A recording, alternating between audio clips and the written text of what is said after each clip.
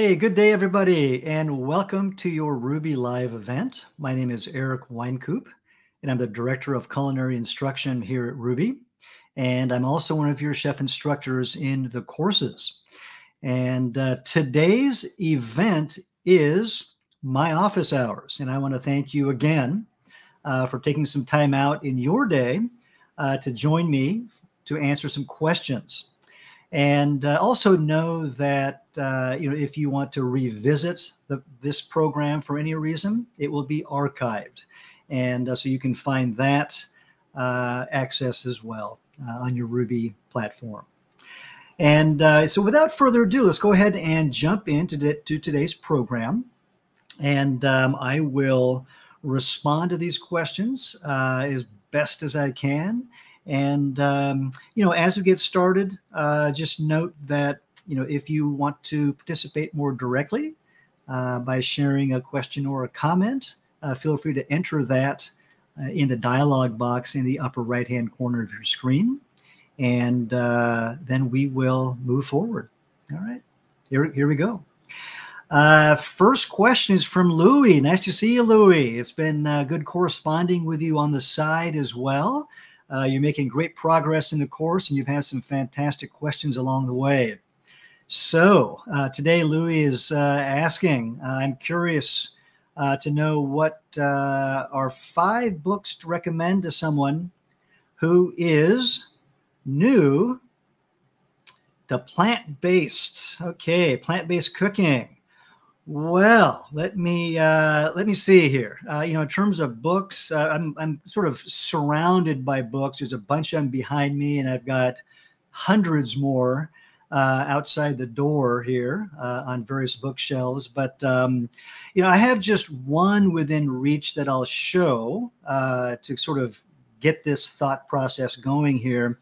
You know, in terms of of uh, plant-based cooking, I mean, I first of all think of that as cooking in general, right? And in other words, most of the the principles of ingredient knowledge, handling, combinations, flavor profiles, cultural context, cooking methods, auxiliary uh, techniques that you might apply, um, and so on and so forth are really common across the, the broad range of cooking. Uh, of course, as you get into uh, you know smaller uh, areas of focus, uh, whether it's regional cuisines, as an example, uh, you're going to find particular techniques, particular traditions around food handling that are unique to that culture or otherwise characterize uh, the foods from that region or from that community of people. And of course, that holds true with plant-based cooking. And um, but you know, one thing I'd like to share are general references, and uh, this is you know one of several uh, books that I've got around. But I would recommend you know something like this. Uh, this one happens to address herbs and spices. There are a number of different titles in this category available. Uh, this one happens to be uh, by Jill Norman. It's a DK uh, published book. Uh, this, just to show you the inside here, uh, comes with uh, some, some great color photos and handling techniques and just a lot of other information. But once again, there are other similar books to choose from. Uh, you know, I always recommend uh, getting your hands on books, knives, you know, whatever whatever it is we're talking about, so that you can feel it, look at it, page through it, and see if the uh, the item is really going to fit your personality and your needs, right, as a cook. And um, uh, so, you know, for, as far as books go, if you have a chance to run down to your nearby bookseller, I always recommend that. And um, you know, otherwise, and I think this book here uh, certainly is a good one to have on the shelf again, or something like that. Okay. Now, beyond this particular book, uh, another reference that comes to mind uh, is a book that's called the uh, the Flavor Bible. Uh, there's also the Vegetarian Flavor Bible, which might be of more interest to you if you're going to focus on plant-based cooking. Okay. Uh, but nonetheless, uh, this is a, a book that uh, talks a little bit more about flavor combinations and regional flavor profiles um, across a number of different food categories. And so this is a, a nice book to have around um, just to, to, to reference or to read from cover to cover, whatever your style might be. All right. Now, beyond these two specific suggestions, Louis, uh, you know, think about what other areas of the broad food world interests you, and then start to drill down uh, in, into titles that uh, will be relevant, right, to your immediate cooking needs. And you know, for example, uh, one area that comes to mind, uh, you know, is international cookery or you know regional cuisines of the world. Uh, if you you know happen to have a particular cuisine that you're interested in, then go ahead and check out uh, titles uh, related to that part of the world, and uh, you're uh, bound to find something uh, that's plant-based, or certainly books that contain recipes that are plant-based or mostly plant-based. In which case, you can begin to make some recipe modifications and adapt them to your needs. Okay. And, uh, you know, I uh, mentioned I've got hundreds of food related books uh, around the house here, and a rather small subset uh, are specifically plant based. Um, you know, rather, uh, I've got uh, books that I'll pick up and I'll cherry pick plant strong recipes and then uh, you know, adapt those as needed. And so that's my recommendation. That's going to make you a stronger cook uh, as you push yourself to understand the function of ingredients in recipes uh, in the context of making substitutions. Uh, and uh, the next step is to test recipes. Uh, that's something that I do on a fairly regular basis as it relates to you know my work with Rouxbe. Uh, and I do that in the context of responding to student questions uh, for which I may not have an immediate answer, uh, or uh, in the context of creating new recipes to publish for our recipe library here at Rouxbe. And that activity is a lot of fun. It is super educational. And uh, you know, it certainly keeps me engaged in a in a certain way and learning uh, about ingredients and interactions uh, of ingredients and flavors with time and temperature, you know, in the context of cooking. And I'm sure that you will find similar benefits. Okay. Um, you know, as far as books go, my last plug is for your public library. I'm a big fan uh, of my public library, and I'm always requesting books uh, from them for uh, pickup and uh, another thing to keep in mind is uh, if you find a title that you're interested in and your local library doesn't carry it, uh, see if your library uh, is part of the interlibrary loan system or network. Uh, my library is, uh, which means that I can order books from all over the country and it's delivered you know to my local library for pickup. Uh, and so i so really you know the uh, the card catalog so to speak is just much much broader than what i actually see at the local library. So keep that in mind as a resource when you're doing your food research okay? Uh, above all else uh, keep moving forward and have fun with the process. Thanks. All right the next question uh, is from bruce uh, regarding heating your pan. Uh, do you turn the heat down once it reaches temperature? And this is for the mercury uh, ball test, okay? Uh, or do you leave the pan temperature high?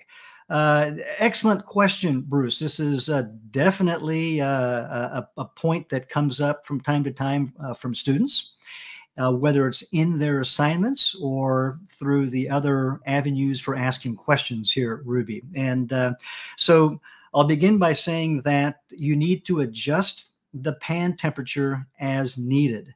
And usually that means to cool down the pan. Okay. And uh, so let's talk more about that. Um, a couple of ways to cool a pan.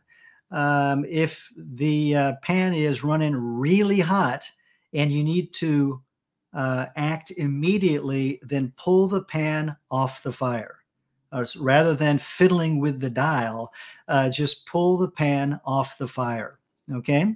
Uh, and then the next step to consider is uh, you've got your food product ready to be cooked, right? Your mise en place. That product is cooler in temperature than the pan. So once you put that in the pan, it will cool the pan temperature. So that's the, the next step to consider in that sort of uh, uh, an immediate or you know urgent situation. Okay. Uh, keep in mind, however, that there are some food items uh, you know, based upon, say, uh, sugar content or starch content, or the size in which they're cut, uh, meaning very small cuts, that will burn if they're placed in a really hot pan. Uh, so think about that. Um, and uh, don't put those items in the pan immediately. You want to let that pan cool down a little bit first. But if your food item is larger, um, you know, bulkier and uh, can absorb that heat from the pan without burning, go ahead and put that in. Uh, and you're going to start to develop very quickly some nice caramelization, some nice browning on the surface. And as we know, uh, that browning equates to flavor. Uh, it also adds subtly to aroma, which also adds to flavor. And it certainly adds to the visual appeal of the food once it's plated. Okay, so those are all pluses.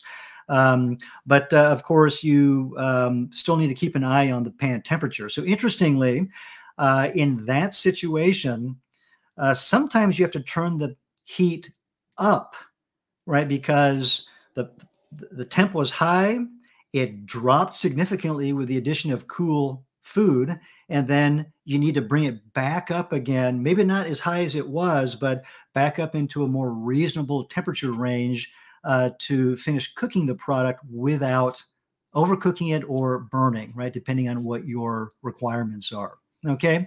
Now, otherwise, let's talk about the so-called mercury ball test, right? With the uh, the, the, water droplet. Um, this uh, test works best with stainless steel cookware uh, because stainless steel has a particularly you know smooth and hard surface and uh, it really was designed and intended for stainless steel cookware um, you know you can you can use some modified version of this for other types of cookware whether it's cast iron or earthenware or something else but let's start with stainless steel okay and um, be patient with the process, okay, as you slowly heat the pan up. And I, I do want to emphasize slowly uh, in these first couple, three times that you're running this test. It's all about your education, right?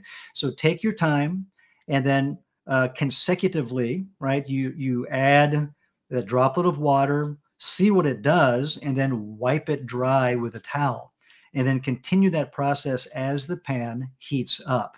And you're going to get to that that um, temperature range where the, the water starts doing what is described in the lesson, meaning that it, it doesn't splinter apart uh, uh, so much. It, it, tends to stay together. Uh, or if the pieces do bounce around individually, then they do come back together. Okay, maybe not uh, into one clean droplet, but certainly one main droplet, sometimes with some additional small droplets at the edges. Okay, so it can look different, um, but keep that in mind. All right. Now, your next step is to get food in the pan. Okay. Um, and if you're using, um, well, th- this is this is primarily geared toward um, a no oil saute method. Okay, so you're going to get your food in the pan at that point and see what it does. See how that food acts and reacts, uh, you know, to the heat and in in the pan, uh, and then make your adjustments uh, accordingly, as we just talked about. Okay, now uh, throughout this whole process. Uh, this is uh, not a passive uh, experiment, right? You are engaged. Uh, what's really important here is that you are feeling the heat uh, coming off of the pan as the pan heats up. Okay, so with your hands, the palms of your hands, with the backs of your hands, put your face over the pan and feel the, the radiant heat on your face. And you're going to start to better sense, right, the temperature of the pan uh, as it goes through that, uh, that range of heating. And then you're going to correlate that heat uh, with the reaction of the food once it hits the pan. So the sizzling sound, uh, and then visually what's happening, right? Is it burning? Right? Is it uh, just sitting there and not doing anything, which, which indicates the pan is too cool, uh, or is it is it uh, you know just right? Right? This is one of those Goldilocks experiments, and um, so it really is important to do this, uh, in my opinion, a few times, right, to get to know your cookware as well as the different types of foods that you cook on a routine basis. Uh, keeping in mind that whenever you add a new food item to this particular cooking method, this no oil, uh, relatively high temp method, you'll need to go through this process again. Okay. And this is the process of learning to cook. Okay. It's, uh, it's lengthy, it's repetitive, but it's a little bit different each time. And it requires 100% right, of your concentration. Okay. Um, I hope that uh, you'll give it a try. Okay. And um, let's see. Yeah, the last thing I want to mention regarding the mercury ball test is that we don't intend for you to do this forever. Uh, just do this several times as needed uh, until you understand what your cookware and your food is doing and then you don't need to do uh, this mercury ball water test anymore. All right. Thank you. All right. Next one uh, from Kimberly.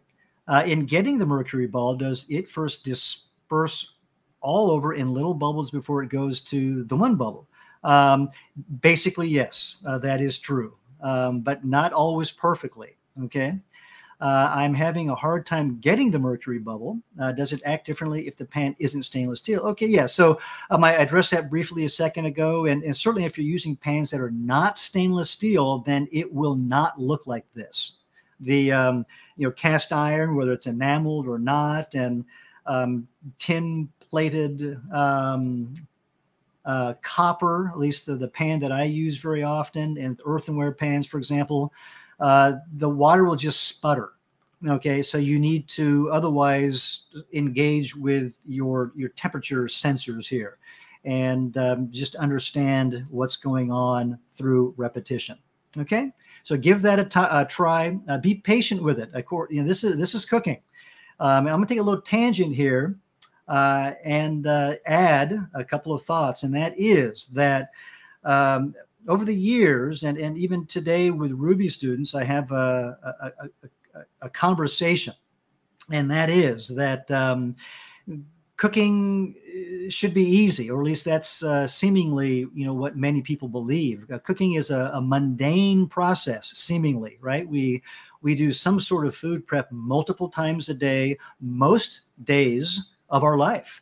And uh, so it seems like kind of like riding a bicycle, it ought to be really easy, but um, it's not necessarily. Um, if you want to learn uh, deeply and broadly about cooking and develop your skills deeply and broadly, it will take a lifetime potentially, uh, just depending on you know the the scope of cooking that you wish to do. Um, most anybody, I think, uh, you know, can learn to cook uh, at a very fundamental level uh, pretty quickly. Um, you know, such as you know during the duration of one of our courses. But if you want to start to fine tune, right, your knowledge and your skill, uh, it takes the accumulation of lots of experience uh, to get there. And uh, so, please have patience with yourself and with the process and uh, you know understand that uh, you know things like burnt food and uh, you know overcooked food Uh, in my book, those are never mistakes. Those are always learning opportunities, and you're going to be a better cook next time. All right. Thank you. All right. Next up. Uh, I would like to start practicing the skills I have learned part time in a restaurant setting, but only have availability for a couple of hours on the weekend. How do I approach a restaurant to inquire about an opportunity to assist with prep work?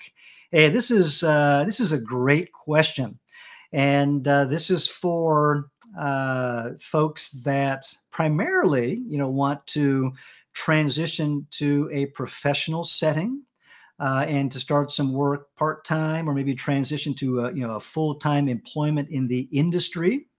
Uh, sometimes I will come across uh, uh, serious home cooks, you know, that want to simply sort of deepen their understanding and uh, up their game. Uh, and so they will um, subject themselves uh, to the environment of a professional kitchen. Okay. Now, uh, the the way to approach this, generally speaking, is to talk to the chef you know, in charge, uh, figure out who that is at the restaurant that you like and you want to spend some time at. Uh, it could be the executive chef.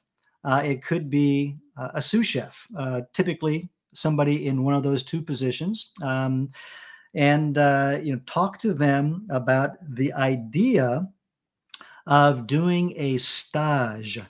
And we refer to this work sort of um, learning on the job experience as a stage, um, I would recommend strongly that you uh, set yourself up uh, to do this with no pay. Okay. So you're, you're going to offer yourself um, uh, as free labor. And at least initially, most kitchens run on a pretty tight budget. And when it comes to uh, labor, uh, the labor budget, that is one erratic area uh, of management for the chef. And the last thing she or he wants to do is to to willy nilly add somebody to the payroll uh, that they um, are you know uncertain about. And so your best bet is to say, hey, um, you know, I'm, I'm, willing to work for free, uh, at least for you know some period of time. Uh, in exchange, I'd like to learn, uh, you know, about cooking in a professional setting and let them know that you're willing to start out on the bottom rung. Um, ideally, it's prep cook, uh, you know, doing some some uh, some food prep of some sort. Um, but keep in mind that it it might also mean you you split some time assisting the dishwasher, right? As you begin to um, uh, you know build some trust uh, in that network of kitchen relationships. Okay, uh, and then go from there. Uh, you know, decide for yourself uh, if that restaurant is a place that you want to continue, uh, you know, pitching in a couple hours uh, each weekend consistently and reliably for a longer period of time, uh, or if you want to move on to the next establishment um, for whatever reason. Okay, and, and and there are many potential reasons, of course, uh, why you might choose to do that. And then, you know, over time, you know, you might also investigate the idea of being put on the payroll right? If uh, if you're a, a, a, strong contributing member of the kitchen, okay, and so figure out uh, what it is that you want uh, from the experience, and then offer yourself up for free to start with. Right? Thank you. Okay, let's see uh, the next question. Uh, happy holidays, Tamara. Uh, do you have a PDF schedule of a recommended timeline with respect to preparing a plant based holiday dinner? No, I don't. Um, let me uh, talk through this a bit. Okay. The idea of planning a plant based holiday dinner is uh, just like planning any other uh, holiday dinner. And uh, so if you've done it before, um, then just rely upon some of that experience that you have around time management. Okay. Um, you know, as always uh, with dinner parties and special events, uh, I recommend that the cook make dishes that they have prepared before. Okay. um, you know, especially as a a burgeoning cook, a learning cook, um, developing your your skills. Now, if you're an experienced cook, then uh, we might have a different conversation. Okay, but um, start out with things that you're familiar with that'll alleviate the stress. Um, that'll also shorten the prep and cooking time, um, which will be uh, greatly, I think, uh, appreciated by by you and the diners uh, especially when you're making what's usually an expanded menu during these special event uh, periods. Okay. Um, I am a fan of writing down my plan so that I have it in front of me on paper. And uh, it's a prep list for each dish, and I'll uh, put that in a sequence uh, that I want to follow and make any other additional notes uh, to help my process. And I always recommend that approach. Okay, so you don't forget to do things, uh, and uh, you can you can check things off or cross things off the list uh, as you proceed. Okay, so do all that you can to prepare uh, for the special event. Um, start early. You know, uh, identify dishes that um, might be served at room temperature that uh, you can get done ahead of time and just set out uh, and get those you know off of your to-do list. Uh, if there are things that you can do ahead of time like the day before or even a couple of days before uh, consider doing that. Uh, hold those items under refrigeration until the day of the event and then whether it's to be served uh, chilled or at room temp you can pull that out of the refrigerator at the best time uh, and it's done, right? Then you can focus your energy on the hot items. And uh, when it comes to the hot items, think about mise en place and what you can do ahead of time. Again, the day before, for example. Uh, sometimes it is some knife work. Um, sometimes it might be uh, preparing the components of a dish ahead of time, which will allow you very simply to finish the dish on the day of the event. Okay. And uh, then, you know, uh, figure out your timing so that you can keep hot foods hot. Uh, you know, use lids, use foil, use plastic wrap, uh, and so on and so forth to your adva- advantage to hold in the heat uh, to buy you time while you do other things, right? Um, you know, keep in mind that as your service time approaches, that you're going to be as busy as a one armed wallpaper hanger getting all these details in line. Okay. And so it's going to behoove you to get as much done ahead of time as possible. All right. Thank you. All right. The next question is from Peggy. Uh, are the student photos included with the lessons examples of excellent work? How, how are they selected? Uh, the student photos that you see on uh, the uh, assignment pages are uh, all of the student work that has been submitted unless the student opts out. And you'll notice that, um, you know, as you're, you know, submitting an assignment, uh, there will be some sort of a, a checkbox that you can uncheck if for some reason you don't want your uh, photograph displayed in the gallery. Um, but otherwise, what you see represents the work of most all of our students, uh, which means it's a mix of what you might call excellent work uh, and sort of cascading down from there. Okay, so you know, do take a, a, closer look at the examples and start to discern with your own eye, uh, you know, which examples look nicer um, from different perspectives and you know try to you know emulate some of those qualities uh, if that's uh, of interest to you okay? And uh, yeah i guess that that answers your second question as well in terms of how they're selected all right? It's an automatic process. Thank you.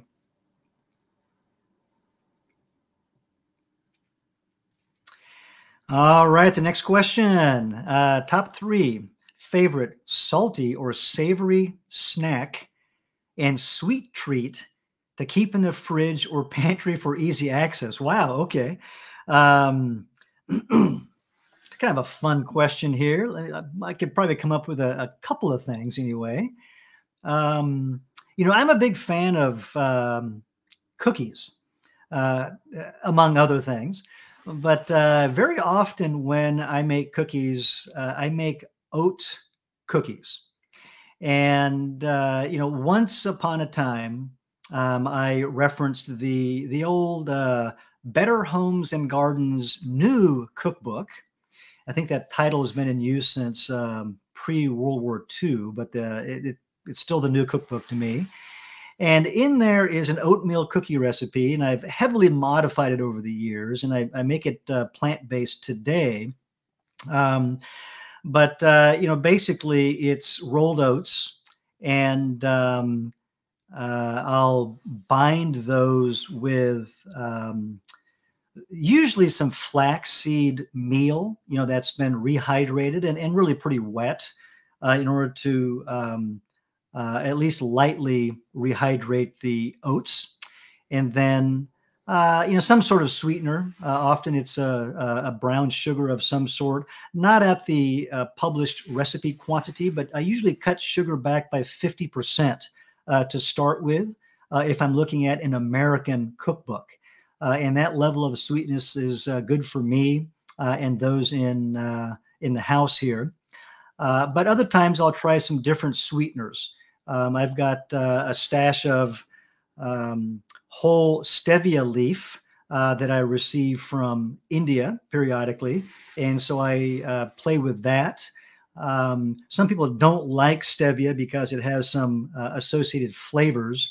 Uh, it is an herb after all. So if you think about that, uh, you know, any herb that we consume, you know, has its characteristic herby flavor. But anyway, um, so I'll try some different things regarding binders. Uh, uh, could be chia seed and um, sweeteners, uh, and then I will add uh, lots of spices as well: turmeric and black pepper and fennel and um, uh, different things.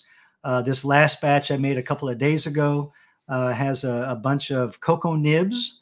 Um, you know, sometimes I'll add chocolate chips in some small quantity. Um, and then adjust the sugar accordingly uh, to, to, to, maintain some uh, consistency uh, in that category. But um, so, uh, you know, that's something that uh, I'll keep on hand, you know, very often. Um, and um, let's see, you know, th- that's mostly sweet, I guess. Uh, and then in the savory category, um, you know, I'll play around with things like um, puffed rice. Um, that is, uh, or or pop popcorn. Uh, it's not something I have on hand, but I'll make the popcorn, you know, real time and eat it. Uh, but it but it's flavored with spices and a touch of powdered uh, citric acid or crystalline citric acid, uh, which adds a little bit of sourness. Um, so um, you can you know add or omit salt at that point. There's usually enough sort of palate interest from uh, those items. you know, in terms of spices, I recommend using just a touch of oil and uh, blooming some uh, black mustard seed, and then kind of go from there. It might be cumin and coriander. I like to add turmeric, a touch of black pepper, uh, sometimes a little bit of red chili powder, uh, and then uh, you know toss your your popcorn in that, uh, and it's um, you, know, you get the benefit of the antioxidants and uh, other phytonutrients from the spices. And uh, you know you can control the amount of fat that you add. You can easily omit the salt. Uh, it takes just a you know five minutes or something like that, so it's super convenient, super easy. Uh, and so those are a couple of ideas that come to mind. I mean, um, and otherwise it might be the occasional carrot uh, that I uh, pull out from the the refrigerator drawer to snack on. All right, especially if I have a bowl of hummus sitting around. Okay, hummus uh, and similar uh, bean or legume dips, uh, I think, are great to have around because they can certainly uh, then you know make a snack right along with any vegetable of your choice. All right, there. That's three. Perfect. Thank you. All right, next up.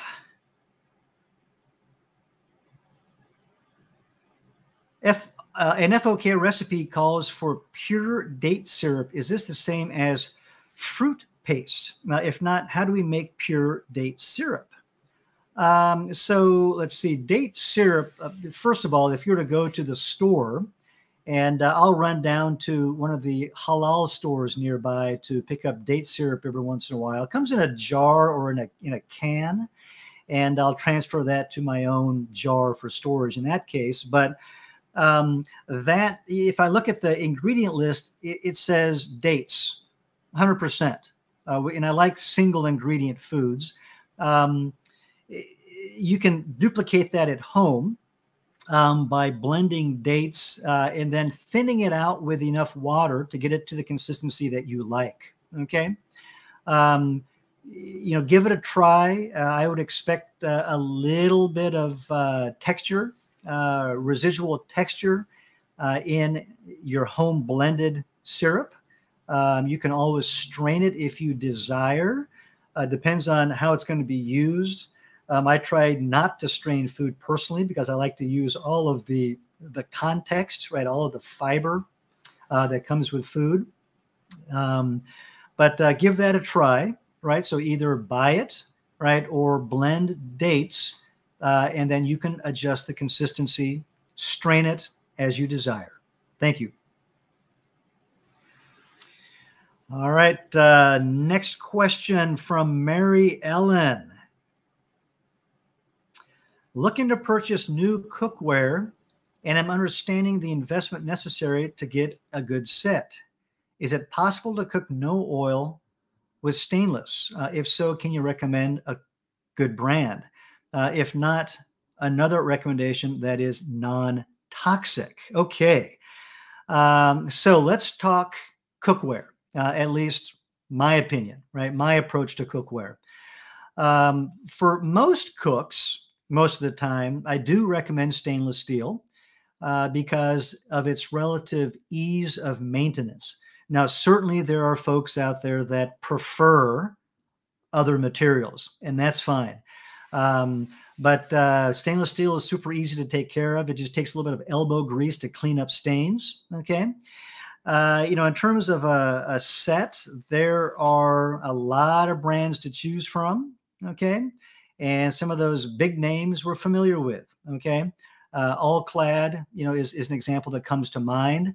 Um, and they're also spendy and uh, you know arguably you know uh, kind of too expensive right for for some folks and uh, if you're interested in something that's a little lower priced uh, what i think of as a good value um, include the stainless steel so not non-stick, but just traditional, sort of typical stainless steel sets uh, under the Kirkland brand at Costco.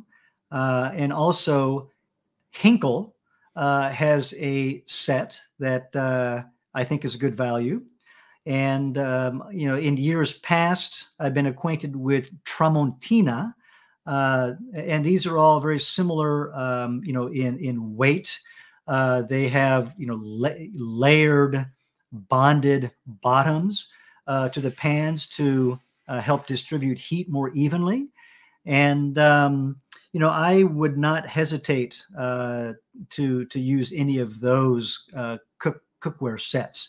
They tend to run between say 150 bucks, maybe a couple hundred dollars or so. Okay. Um, and then, you know, uh, a non-stick pan is, uh, well, let me, before I get to non-stick, um, you know, as far as the higher priced brands are concerned, let's say All Clad again, I've got nothing against them. Um, you know, All Clad has different lines, right? Some of them are, you know, lesser expensive. Some of them are relatively more expensive. Um, you know, I've used uh, two or three of these different lines. I don't remember the names, but uh, they all work fine. Um, if you got the budget to support that sort of uh, cookware, consider it.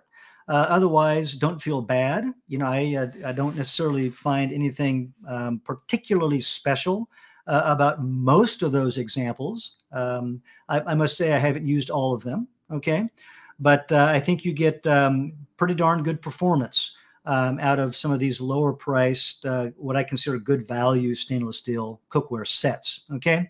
Uh, I do not recommend a non-stick set because non-stick cookware, at least all the stuff that I have seen and used, will accumulate scratches over time. And at some point, they become sticky. Uh, so you need to replace them. So, in other words, uh, in my opinion, uh, nonstick pans are disposable items. Uh, therefore, I recommend getting just one, maybe two uh, nonstick pans uh, according to your needs. Okay. Um, now you mentioned uh, recommendations uh, for for non-toxic cookware. Okay, so um, I am going to direct you to the interwebs. Um, consult Dr. Google and uh, read some reviews on products. Um, if if one is uh, you know concerned, particularly concerned about the toxicity of cookware, then uh, please take your time uh, to exercise your due diligence uh, to find a product that will suit your needs. Okay. Um, my needs take me down to the nearby restaurant supply store uh, where I'll buy a pan. Uh, uh, lately, they have been uh, made by the company called Volrath, V O L R A T H. And um, they're an American company that makes cookware that's very commonly used in restaurants. Again, I'll pick up one, usually, sometimes two, uh, and then I'll use them until I feel they're scratched up enough, and then I throw them out. Um, but uh, yeah, take the time to find uh, a, a, a, technology that you're comfortable with. thank you. Good afternoon, Carol. Uh, do you have any book or online suggestions for beautiful creative plating? Uh, you know, nothing that comes to mind, um, but uh, you know, very similar to uh, the guidance that I, I provided to Louis uh, earlier in today's program. You know, I would suggest that you take a look. Um, you know, ideally at your local library, um, then at your local bookstore, and then online uh, to find uh, you know books that first of all touch upon the the the theory right of plating. So there's there's uh, a consideration of colors and shapes and dimensions. Uh, not just two but at least that that third dimension uh, that you're working with on your canvas. Um, and then uh, the book hopefully will talk about uh, you know different ingredients and cooking methods uh, that can help you create components uh, that will allow you to uh, design um, a presentation uh, that is doing what you're imagining.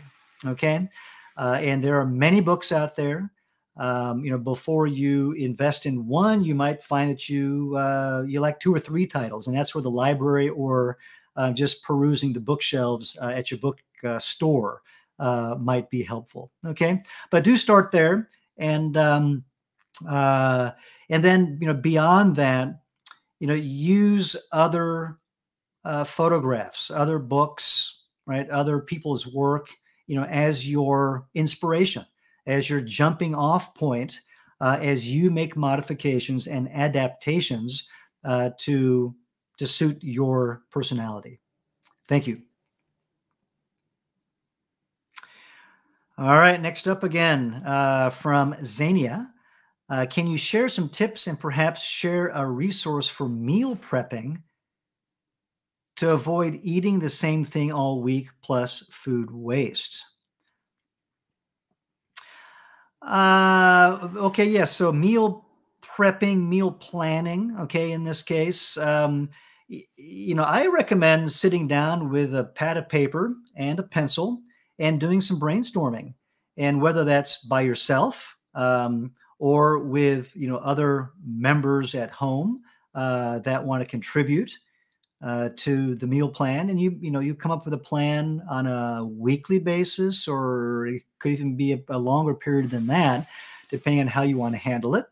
And uh, first of all, think about the foods that you enjoy um, you know, whether it's a, a certain regional cuisine, um, and then list those out. And then start to order them uh, in a way where you'll have common ingredients that sort of bridge one day to the next. So that if you have leftover product today, you can then use it up tomorrow. Okay. Uh, always keeping in mind that if you have some odds and ends that uh, don't fit in, uh, and they do fit in possibly to a stock production rotation, that you can always bunch those up in the freezer and then get to them uh, at some later date when you have a quantity sufficient uh, enough to make a pot of stock. Okay. Um, you know, but otherwise, uh, you know, get these things, uh, these ideas written down, and then just sort of move around those puzzle pieces uh, until there's a flow that makes sense. Okay, and uh, you know, as your um, your skill, right, and knowledge deepen, uh, you're going to find this process to become easier and easier. Okay, uh, but the food waste component is an important one. it certainly is from my vantage point, and so um, you know, do be smart uh, about you know how you dovetail the next day's menu with what you're doing today. Thank you. All right, next up again from Mary Ellen. Uh, what's the best method for roasting with no oil? I have a particularly difficult time with Brussels sprouts and asparagus.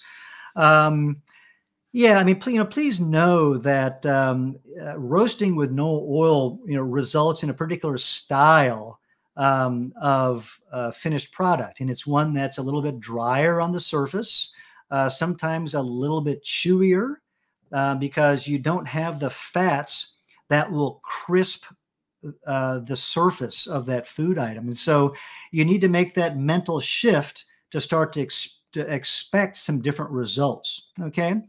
Um, but otherwise, uh, you know, the, the, just those general guidelines, first of all, um, if you have larger pieces, uh, then you want to moderate the temperature. Maybe start out hot in order to impart some color, and then drop that temperature for the long finish. Um, or uh, you know the method I use, for example, for roasting sweet potatoes, which is uh, uh, in uh, particularly a seasonal favorite of mine during the uh, autumn and winter months, uh, is to just plop them in the oven on a sheet pan, uh, on a Silpat typically, uh, whole, um, 350 until they're done, which is often about 90 minutes or so. And uh, you know, by that time, there's a little bit of um, caramelization that's developed, and so on and so forth. You can always cut them, put the cut side face down, so that the heat transfers, you know, through the sheet pan and um, will brown that cut edge. Um, you know, with um, smaller items uh, like uh, asparagus, you know, you might uh, crank up the heat and then reduce the roasting time and try to find that sweet spot for you. Okay. Um, now, you know, uh, you might also uh, sort of compare that against um, steaming asparagus to see uh, which results uh, you might like better uh, based upon what sauces uh, will accompany the finished product. Okay. And, uh, you know, those textures will vary tremendously. The degree of control that you have over roasting asparagus in particular, compared to, say, steaming that asparagus is tremendous. Much more control, in my opinion, with steaming. But of course, the results are just simply different. And so you'll need to uh, figure out what you like. Okay.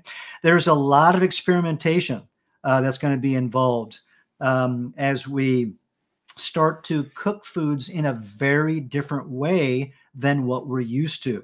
And, you know, no oil is a very different way from what most of us are used to doing. Um, and again, a big component of that change is the mental one. Um, I'm a a, a, a, deep believer, right, that life is 90% mental and the other 10% is just doing the work. Uh, you're going to run into challenges and likes and dislikes and, and uh, so on and so forth. But if you're mentally prepared, you're good for 90% uh, of that challenge. All right. So just give it a go and um, experiment. Take notes. I, I, take notes. I recommend to my students uh, that they take notes uh, so that we can make small adjustments uh, and uh, keep on track with what it is that we've already done. Okay, have fun. Thank you. Uh, let's see. Tom is asking Have you ever looked into or tried Skinny Girl salad dressing? Someone told me about them for whole food plant based eating. Um, I've never tried it, Tom, but I am uh, just familiar with the name. And um, uh, my understanding is that that line is a, a, a no um, added fat, added uh, oil, I believe, uh, product. Um, so definitely makes sense for a more healthful type of eating. Uh, you know, also know that as you go through our courses, um, you know, Forks Over Knives and the Pro Plant course come to mind, that we we have lessons on um, uh, salad dressings that uh, use whole food fats, so there's no added oils. And once you uh, you know run through the, the, that set of practice recipes, you can then expand on those as you understand the process. And uh, you can make dressings that fit this same category as Skinny Girl uh, to suit your palate to the T. All right, I hope you'll give it a try. Thank you. All right, next up is Maria. While I understand we are learning plant based cooking, when cooking for family that are still meat eaters, do you taste broth? Um, that is totally up to you. Uh, you know, as uh, you know, I interact with our students in any of our plant-based courses. You know, I appreciate that everybody comes to this um, in a different place in their own lives, um, and some people are going, uh, you know, cold turkey and uh, you know, um, 100% uh, forward and uh, they're they're doing the plant based thing and they're trying to make a go at it and they're enjoying most of it and struggling with other things. Um, that while other people uh, might be simply trying to add a little more vegetable into their diet each day while they still enjoy uh, some plant based foods. So uh, you figure out where you are sort of on that path. Uh, and then decide if tasting the broth is going to be acceptable to you. Um, that's going to be a personal, sort of a food philosophical question, and think about um, you know where you're coming from with respect to all of that. Okay. Um, enjoy. Thank you. All right. And another question from Maria. Uh, as I understand, I can finish the 90 day course at my pace. Does this mean that on the first day I can watch it the next morning. Uh, yeah, you bet. Uh, you know, you've got 90 days to finish the course, um, but of course, extensions are available if necessary. Uh, but within those 90, 90 days, uh, work at your pace, slower or faster, but uh, keep the balance so that you get things done ideally within the 90 day window. Okay. And then feel free to watch videos and uh, you know engage with the quizzes and other activities uh, morning, noon, or night. Thank you. All right, Cherie is back. Good to see you. Uh, I was wondering if pre-packaged sun-dried tomatoes may be stored in the freezer. Um, yes, I mean, they certainly could. Um, you know, do keep in mind that, uh, you know, most any food uh, will experience some texture change as it goes through a freeze thaw cycle. And even more so if that cycle is repeated. Okay. Um, so, you know, certainly, you know, most food items can be frozen. Um, but, uh, you know, keep in mind that um, it might uh, feel a little different in texture upon thawing. Now, something that is fundamentally dry uh, is going to have a, a, better chance of coming out the other end with the least amount of change. Okay, because it is fundamentally the expansion of water during freezing that ruptures cell membranes and otherwise alters the texture of that food once it thaws. Okay, uh, but give it a try and then see how you like the results. Thank you. And then your next question uh, would you share a few recipe ideas of what you would use Chinese five spice blend in? Um, sure, uh, try it on your popcorn. Uh, that's a great place to start. And then, uh, you know, um, try it in soup, try it in stew, uh, try it in your mashed potatoes, try it on your roasted potatoes. Um, you know, try it in a vegetable medley. Um, just any of those uh, sort of routine cooking activities that you're engaged in, uh, try it out, and that's how you will learn. Uh, you know which ingredients uh, the five spice blend will pair with best. Uh, go easy to start with because uh, it's always easier to add more than it is to remove. Um, and then you will be learning with each step. All right, thank you. And let's see. The next question uh, from Estella. Uh, what what to do if I have allergies when I feel or touch a vegetable or fruit? Um, so, I mean, you know, generally with, uh, well, let me ask, uh, answer this in a couple of, of, of ways, right? Um, um, I'm going to uh, assume that this is going to be within the context of uh, an assignment, okay, that you're going to submit for grading. If you have a food allergy, please reach out to us uh, ahead of time uh, to uh, figure out what the best way forward will be. In other words, what uh, is going to be a suitable substitute. Okay. Now, generally speaking, um, you know, we're open to um, small substitutes in recipes uh, because people can't access foods for different reasons, whether it's a food allergy uh, or they simply can't find the ingredient, uh, and so on and so forth. Um, but we need to understand the learning outcomes of that assignment so that any substitution will keep you on path to meet those learning outcomes. So I suggest you reach out to us ahead of time uh, to figure that out. Um, and probably the best place to do that would be at support at rouxbe.com, since this would be a, a personal, individualized um, consultation. Thank you. All right. Cherie is suggesting a book for Louie. Excellent. We got a little conversation going here.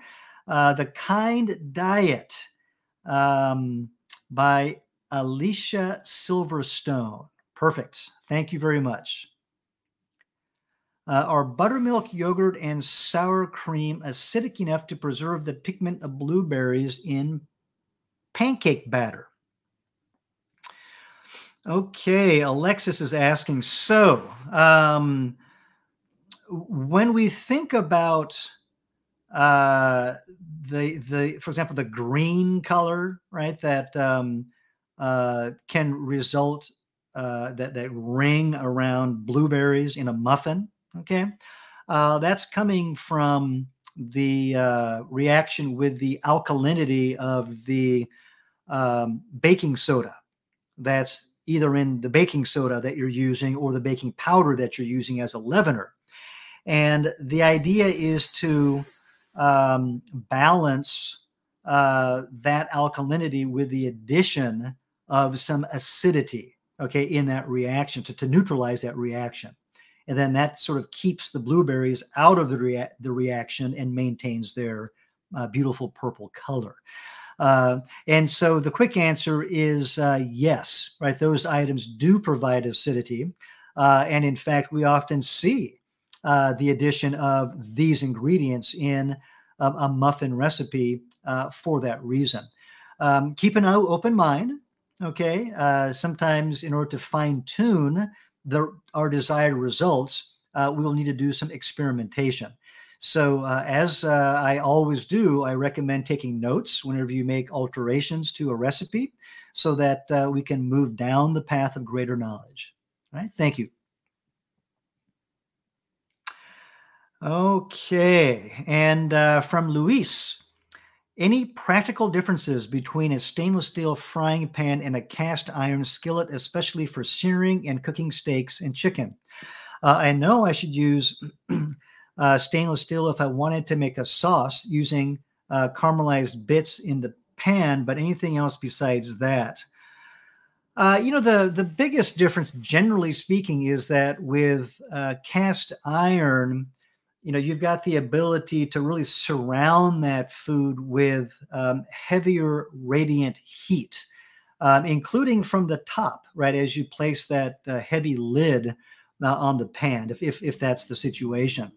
Um, and uh, so there's there's a difference uh, in heat penetration uh, all around the food, um, you know, as well as uh, the way that the heat is tempered uh, coming through the pan to the food. Um, now, you know, in terms of the, the practicality, there's a little bit of hair splitting here. Okay, I mean, on, on one hand, most of what I just mentioned uh, runs along the lines of, of a, a, personal aesthetic preference. Okay, although some of it overlaps into sort of the um, the actual function of cooking, right? When it comes to uh, greater heat that's trapped in the heavier metal of the cast iron and how it radiates toward the food. That's not just an aesthetic, right? That's a um, that's a that's that's uh, that's science, right? There, that's a real uh, difference coming out of that different technology. Although the results are aesthetic, right? That we are finally judging as a cook, chef, or consumer. Um, so uh, th- then the second part of your your uh, uh, question here is regarding the little caramelized bits in the pan. Well, you know those will be left over uh, in any pan that you use, including the heavier uh, cast iron skillet. Uh, so always try to pick those up by deglazing and uh, just use whatever uh, liquid is uh, best for you. Uh, ideally, it's a flavorful liquid like a stock, uh, but it could certainly be wine, or if you're staying clear of uh, alcohol, then water is fine as well. Sometimes apple juice, uh, if a little bit of sweetener is appropriate for your finished product. Okay. but otherwise, you know, give it a try, okay, with these two types of cookware and compare these technologies. And, um, you know, you're going to learn a lot from that experimentation and you'll figure out what you like better. And you might decide that you like one type of cookware for certain types of foods and a different type of cookware for other types of foods.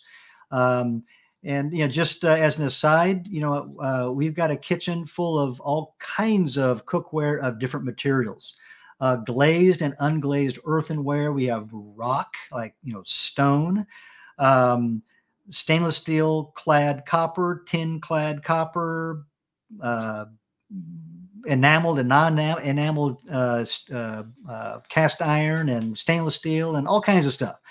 so give it a try and see what you prefer. Thank you. All right. Uh, so Harini is asking, do you include any low FODMAP or nightshade free recipes? So um, in our, uh, well, first of all, I'll say that in our Pro Plant course, we have a lesson uh, that will look at some of these uh, um, uh, health concerns and uh, alternative ways of creating uh, a menu or a diet. Uh, and it, it uh, also addresses um, FODMAPs, okay? And the idea is to uh, open your awareness on how you might modify a recipe to suit your particular need or that of your clientele, okay? Now, in terms of um, recipes, um, you know, offhand, I can't cite any um, FODMAP free recipes, okay? Um, so I'll kind of leave it at that. All right. Thank you. Next up, another question from Xenia. Uh, in a cookie or muffin recipe, can we replace brown sugar with coconut sugar? Equal parts? Uh, does coconut sugar burn faster? I think that might have happened in my last batch. How about replacing brown sugar with dates in baked goods? Ah, okay, wow. Got a series of great res- uh, uh um, uh, questions here. So let's uh, kind of pick them off here. Um, so, can you replace brown sugar with coconut sugar? I mean, the, the quick answer is yes. Um, now, when it comes to things like cookies and muffins, um, my approach is with a very open mind because I will eat anything. And uh, whatever cookies I make or probably muffins that you make, I would enjoy eating, uh, regardless of what sweetener is used. Okay, so that's where I'm coming from. Um, so my answer is yes. You can you can swap in and out uh, sweeteners uh, and really be within an acceptable zone of sweetness, in my opinion. And then beyond that, it, it will require some fine tuning on your part uh, to get that result to just where you want it to be. Okay. Um, start with equal parts and then see how you like it and then and then go from there. Uh, does uh, date uh, does coconut sugar burn faster? Offhand, I don't know. Okay, so uh, you know, give that a try. It sounds like you've got some experience. Uh, take notes. Okay, uh, adjust quantity, keeping temperature the same and the baking duration the same. Adjust the uh, quantity of your sweetener or the ratio if you're mixing sweeteners, which is fine to do, uh, and then uh, uh, move forward. Okay, you, you, know, with your experimentation. And then lastly, how about replacing brown sugar with dates and baked goods? Yeah, absolutely. I mean, dates on their own provide lots of sweetness. Uh, do keep in mind that the sensation on the palate will be different because instead of an even distribution of sweetness through every bite, you will have little nuggets of sweetness that you bite into, upon which that sweetness is distributed across the palate through your saliva or other liquid introduced to your mouth. Okay. And so it's a little bit different experience, even though uh, it can be equally satisfying in a different sort of way. Okay, so give that a try. And again, think about uh, what it is that you want. This is very interesting, I think, because um, food, cooking, as well as the whole connection with eating, is an intellectual activity as far as I'm concerned. And you can create very different experiences at the dinner table um, by altering things like the sweetener that you use. Okay. And so this is a, a very interesting question or set of questions that you ask. Um, so uh, try these experiments, um, you know, with great engagement and then see what you get as results. Thank you. All right. Last up from Luis again. Uh, can I still use a stock that didn't form the gelatin? I suspect I added too much water in my last batch and I didn't want to throw it out. Uh, great question. Uh, I love this topic. So let's talk about stock, uh, bone stock, right? Whether it's chicken or beef or lamb or turkey or fish or something else. Okay. But um, bone stock, okay, uh, this idea of extracting gelatin, right, which comes from the breakdown of collagen, which is a primary connective tissue in all of our bodies. Okay. Vegetable stock doesn't have this. So talking about bone stock, um, it is uh, a, a, a, factor of uh, a few things, just a few. Temperature. So we need to bring that pot of liquid up to a moderate simmer, maybe a gentle simmer. Well, let's say a moderate simmer, because uh, sometimes I see a, a simmer that is really too gentle. Uh, and it's um, uh, it, it's it's just not going to break down the collagen and draw that out into the liquid quickly enough. Okay, so a, a moderate simmer, um, you know, which is going to be a simmer I think of as in the temperature range of 185 to 205 degrees Fahrenheit. So you're seeing some um, some moderate bubbling on the surface, very often in one location. Okay. Um, but not a full on boil, which is much more aggressive with violent bubbles breaking the surface. Okay. So you don't want that. Um, now, time is another factor. If you're talking about a smaller yield of stock, okay, let's say, um, you know, upwards of a couple of quarts, a couple of liters, okay, maybe one one and a half to two quarts, then two and a half hours or so uh, is usually enough time to draw out uh, gelatin in a noticeable fashion. Now, the longer your simmering time, um, you know, maybe up to four hours or so, is going to be quite adequate uh, to pull out sufficient gelatin and flavor uh, for your end product. Okay. Uh, now, the other thing is uh, your water ratio uh, relative to the bones. And uh, clearly, if the water is in abundance, then your finished stock will be rather thin although it might be adequately flavorful. Certainly, it has value at that point. I wouldn't discard it, um, but it might be thin uh, once it's chilled. And if you want more body from the gelatin, it's simply a matter of reducing the stock. Okay, so you've strained it and you have just the clear liquid. Uh, go ahead and put it back on the fire and reduce it over a, uh, gentle to moderate simmer uh, in order to concentrate the gelatin. And you're going to find a, a, a place, right? That um, that zone uh, where the gelatin is going to be acceptable to you, depending on what it is that you want to do. Whether you're making a, a, a sauce, right, or a soup, or something else. Okay, uh, and the way to test that is to draw out a small portion of the stock uh, into uh, just a small portion.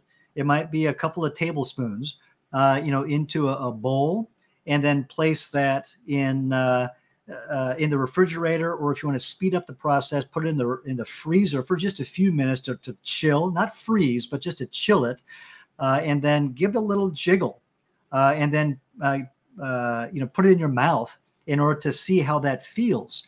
I mean, ultimately, it's that viscosity, right, that you're after uh, and then you can look at the uh, flavor and aroma at the same time. Okay, and uh, so those are the factors that I consider uh, that I always look at uh, when my students are making stock in the kitchen, and uh, the sort of troubleshooting feedback that we go through.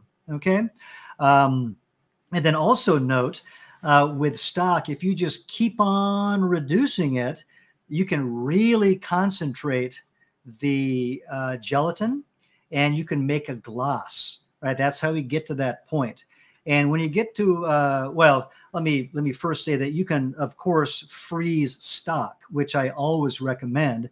Uh, then you've got a, a, flavorful liquid that you can pull out. Uh, freeze it in units that are convenient to you whether it's a pint or a quart or something else for example. Um, but if you uh, further reduce that to create a gloss uh, which can be very, very thick uh, when it sets up. I mean, like an eraser thick uh, when it sets up uh, cold. Um, then you can store those in uh, even smaller units, like in an ice cube tray. and then you can pop those out into a, a Ziploc bag. And then you can store those small, um, essentially, it's a, a bouillon cube at that point. And then you can plop that into a, a pot of soup or stew uh, to finish with a little hit of flavor. Uh, but please note uh, that as you further reduce the stock on its way to a gloss, uh, that you'll want to uh, put that smaller amount of liquid into smaller pans. Um, and then lower the heat so the process is more and more gentle because uh, it will burn very very quickly uh, if it has great surface area, um, you know, when you have a small amount in a large pan. Okay, so give that a try. Have fun with it. Okay, and then uh, tell me how it uh, turns out. Okay, and I see we're at the end of our questions here.